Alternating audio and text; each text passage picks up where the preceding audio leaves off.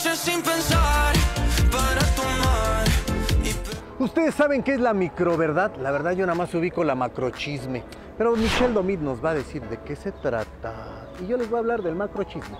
Esto quiere decir que una vez que ustedes llegan al poder, La verdad os hará libres, dijo Jesucristo. ¿Qué tan verdadera es tu vida?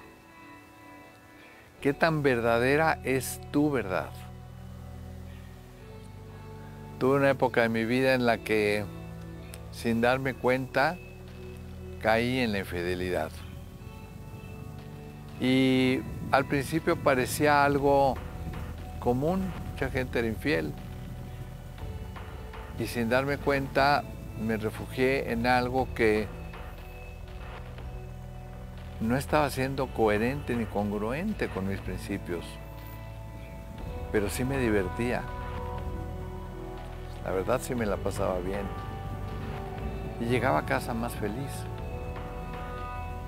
Y por un momento pensé que era un camino válido.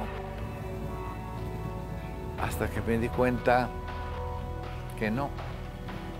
Que como cualquier tentación empieza por tentarte por el placer a corto plazo y termina por destruir tus objetivos, tus planes y tu felicidad a largo plazo.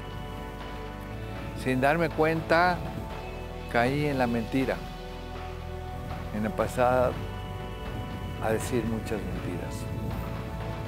Sin darme cuenta, caí en la infidelidad.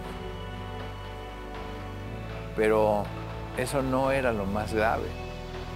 Lo más grave fue que caí en mi propia infidelidad, conmigo mismo, con mis principios, con mi honestidad, con mi congruencia, con mi integridad. Y eso no lo puedes perder por nada, nunca, jamás. Y fue horrible. Fue horrible porque traicioné a gente que me amaba. Fue horrible porque dependía de la mentira para hacer una realidad que no existía más que en mi mente. Una realidad que no era mi realidad. Y la vida se encargó, y Dios se encargó, de darme una lección de claridad y de colocarme en un camino de integridad, de coherencia, de fidelidad hacia mí mismo, hacia mis principios. Hoy en día disfruto tanto de la fidelidad, tanto. De la fidelidad no nada más hacia afuera, no nada más a la gente que me ama, de la fidelidad a mis compañeros, a mi equipo de trabajo, a mi familia, a mis amigos, a mis seres queridos y a toda la humanidad. De mi fidelidad a la naturaleza, a esta naturaleza maravillosa, al respeto por ella.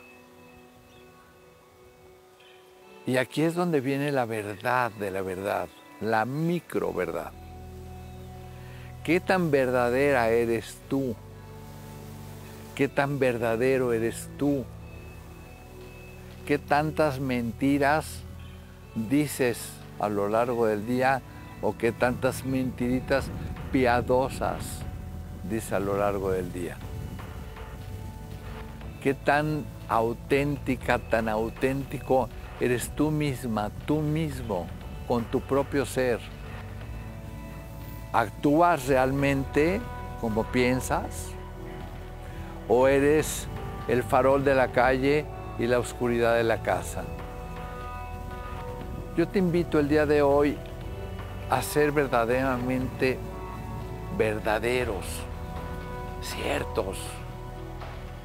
Porque esa fortaleza que te da la coherencia y la integridad no te la da nada más.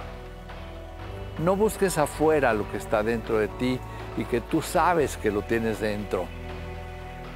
Busca la verdad, concéntrate en la verdad, vive en la verdad, porque la verdad te hará libre. Y yo te invito en este momento a cerrar tus ojos y repetir conmigo, si Dios conmigo, ¿quién contra mí? Porque si Dios está conmigo, ¿quién contra mí?